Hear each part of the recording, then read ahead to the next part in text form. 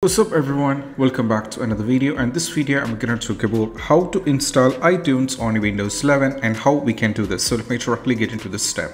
So it is quite simple as it is. All we have to do is just go over here, search for Microsoft Store. And that's what we have to do as the first and foremost step. So just get into the Microsoft Store. From here, you have to go over here and search for My iTunes over here at the top. So that if you search iTunes, you'll be getting iTunes over here. Just click on this one. And right now from here, click on the Get so that the iTunes will be downloaded if it's not there on your system. So Microsoft Store is just like a marketplace where you can get all the official supported apps on your Windows 11. Even if it's game, even if it's paid, even if it's free, you will be finding everything over here. So right now, once this, this particular iTunes is successfully done, you just need to follow these instructions over here, what I'm going to demonstrate to you.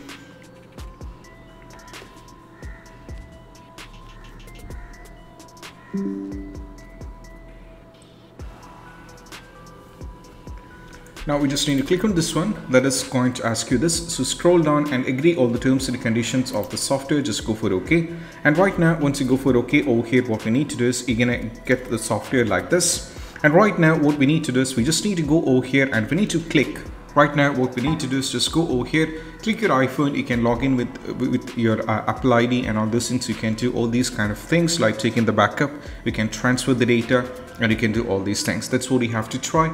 Now we just need to close this and move to the next step. That's what we have to try. And i hope this video is helpful. And if you find this video helpful don't forget to subscribe and click on the bell icon for more notification. That's it. Bye bye